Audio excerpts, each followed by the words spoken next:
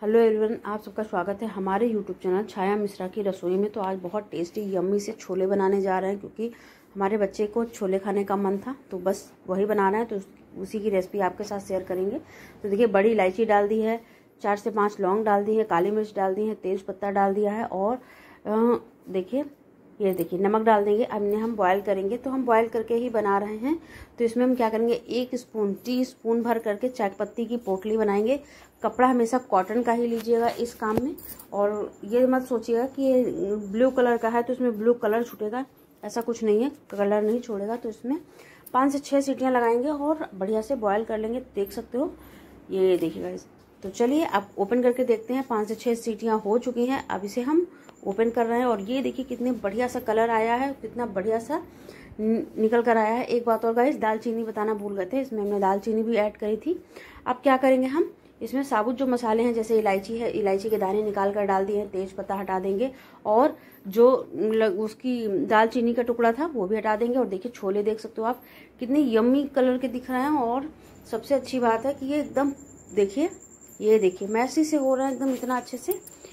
पक गए हैं, ये देख सकते हैं। तो अब ताम झाम करने की ज़रूरत नहीं है, चलिए इनको एक बाउल में ट्रांसफ़र कर लेते हैं और सेम ले लेते हैं अपना पैन। और ये देखिए, लहसन और प्याज का हमने पेस्ट बना लिया है तो दो मीडियम साइज़ के हमने प्याज ले लिए थे और पाँच से छः कली लहसन की ले ली थी जिनको हमने पीस लिया था और टम, दो टमाटर की प्यूरी बना ली है। अब देखिएगा हमारे यहाँ लाइट का थोड़ा सा इश्यू रहता है इस वजह से हमने पहले ही ये पीस कर रख लिया था। ये देख सकते हो दो प्याज ले लिए हैं और पाँच से छः कलियाँ लहसन की ले ली हैं। इनको हमने ग्राइंड कर लिया है। और ये दो से तीन टमाटर ले लिए हैं जिनको ग्राइंड किया है। तो ये हमारे बड़े साइज़ के टमाटर थे तो हमने दो ले लिया है। आप अपने हिसाब से ले लीजिएगा। और ये देखिए, अदरक अदरक हम पीसना चाहते तो हम पीस लेते मगर आपको दिखाते कैसे? तो इसलिए एक इंच हमने ले लिया है टुकड़ा अदरक का, जो कि हमने ग्रेट कर लिया है। तो चाहे टमाटर में डाल कर ग्रेट कर लें या फिर आप प्याज में डाल दें, कोई दिक्कत नहीं होगी। ये देखिए, इस तरह से ये देख सकते हैं।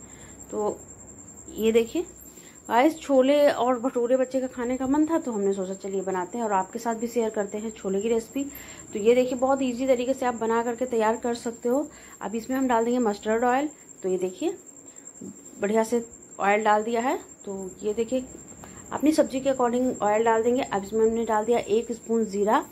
ये देख सकते हैं, इसे बढ़िया से चटकने देंगे अच्छे से। और एक बात, अगर आप मस्टर्ड ऑयल में खाना बनाते हो ना तो अच्छे से उसे पकाना बहुत ज़रूरी है। अब ये देख सकते हैं, अब इसमें हमने प्याज डाल दिया, प्याज को फ्राई करेंगे। तो प्याज को हमेशा धीमी आँच पर फ्राई करना है। एक बात और, आप छोले की अगर सब्ज़ी बनाते हो ना तो उसमें प्याज का भुना होना बहुत ज़रूरी है, यानी बढ़िया से गोल्डन फ्राई होना चाहिए प्याज को। अगर आपका प्याज चिपकने लगे तो आप थोड़ा सा पानी भी ऐड कर सकते हो, कोई दिक्कत नहीं है। अब ये देखिए, इस तरह से हम पकाएँगे प्याज को। हमने बारीक मतलब पीस कर लिया है। अगर आप चाहें तो आप बारीक कट करके भी ले सकते हैं। आप देखिए, अब हमने क्या किया है? प्याज हमारा भुन चुका था और मैं टमाटर और अदरक का पेस्ट भी डाल दिया है। ये देख सकते हैं, अब इसमें डाल देंगे धनिया पाउडर। ये देख सकते हैं, एक स्पून। और अब इसमें डालेंगे हल्दी पाउडर। हल्दी पाउडर की मात्रा थोड़ी सी कम रखेंगे, बहुत ज़्यादा नहीं रखेंगे। एक से हा, एक स्पून से आधी स्पून तक रखेंगे, बस इससे ज़्यादा नहीं रखने वाले हैं। अब देखिए, अच्छे से इसको भी भून, भूनना है अच्छे से। अब इसमें हम क्या करेंगे? अगर आपका इसमें भी चिपकने लगे तो आप थोड़ा सा डाल सकते हो। अब इसमें हम नमक डाल देंगे। देखिए, अब टमाटर गए हैं तो नमक तो जाना बनता ही है तो ये मसाला नमक है, जिसका लिंक डिस्क्रिप्शन बॉक्स में हम दे देंगे। ठीक है? तो हमने रेसिपी इसकी शेयर करी है आपके साथ। तो इसका लिंक हम आई बटन में दे देंगे। अब देखिए, इसमें थोड़ा सा पानी ऐड कर दिया है, जिससे कि हमारे मसाले जले नहीं और बढ़िया से भून कर आए। आप देख सकते हो धीमी धीमी आँच पर इसे हमें पकाना है। तो लगभग लगभग 20 मिनट हो चुके हैं हमको पकाते हुए। अब हम इसमें कस्तूरी मेथी डाल देंगे। कस्तूरी मेथी भी साथ में ही इसके फ्राई कर लेंगे।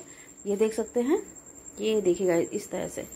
तो इस तरह से डाल देंगे। बड़े पार्ट जो है, जो अनवांटेड है, नहीं डाला जा सकता है। उसको हटा देंगे और देखिए मसालों को भून, भूनते रहेंगे इस तरह से। अब जब तक इनमें से अच्छे से ऑयल निकल कर ना आ जाए, तब तक इसे भूनना है। आप देख सकते हो, पास से भी दिखा रहे हैं आपको ऑयल दिखने लगा है। अभी देखिए, थोड़ा सा और पास में करके दिखाएँगे, जिससे कि आपको बिल्कुल कंफर्म पता चल जाए। ये देख सकते हैं।